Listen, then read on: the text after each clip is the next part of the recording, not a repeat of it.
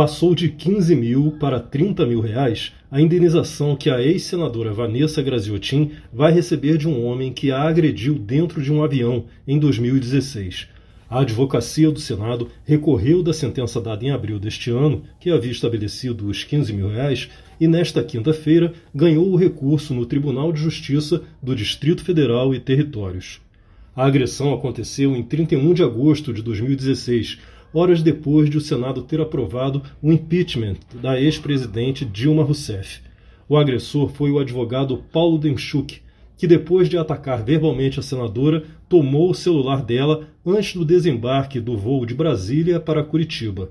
Ele foi retirado da aeronave pela própria companhia aérea com a ajuda de policiais federais. Vanessa tinha votado contra o impeachment.